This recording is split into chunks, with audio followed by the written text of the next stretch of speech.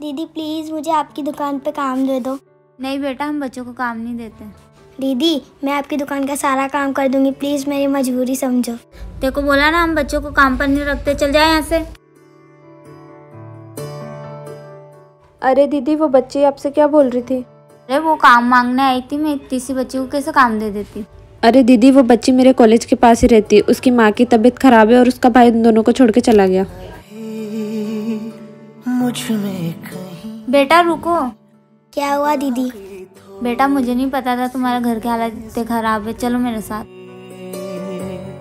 लो बेटा ये आपके घर के लिए राशन और ये पैसे आपकी मम्मी की दवाई के लिए। और अब आपको इधर उधर जाने की ज़रूरत नहीं है। जो भी ज़रूरत हो मेरे पास आ जाना। शुक्रिया दीदी अपनों से अच्छे तो गैर होते हैं।